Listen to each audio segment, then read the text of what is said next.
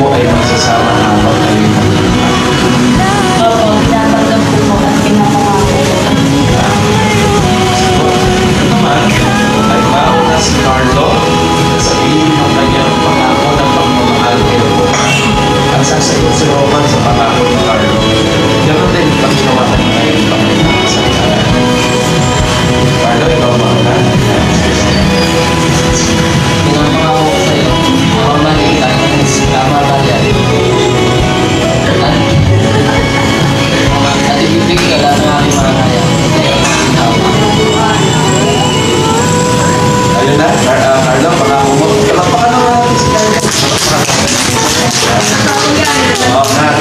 si Roma, pero totoo yung galing sa puso mo yan, di ba, Carlo? Opo, pangako mo. Opo, okay. Papatunayan mo ni Carlo. Roma, pakisagot mo na yung Carlo.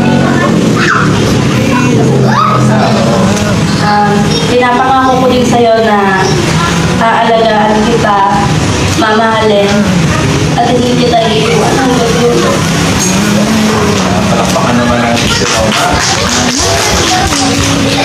mga pangako na yan hanggang dulo, sabihin hanggang sa huling buhay, kayo ay magsasama.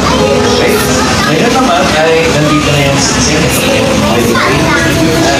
sa kasalang ito, na minamahal mo, ay kumuha gumamit si Carlo at si Roma ng kanilang alaala sa isa't isa. Yung token na tinatawag natin. At ito ay tinawag ng wedding ring. Pag ang lalaki, naggusto sa babae, at ang babae naman ay sinagot ang babae ang lalaki, at sila na, nangako na, no? Meron tinatawag na Singsing yun? Letter E. Engagement ring. Pag pinakasal na, wedding ring. Pag nagsasama na, ano? Suffering. Yung mga ano. Okay, joke lang yung story pa okay. So ngayon, bakit pa meron wedding ring? Kasi nga po, ang emblem nito, circle siya. Ang pag-ibig ng Diyos sa inyo,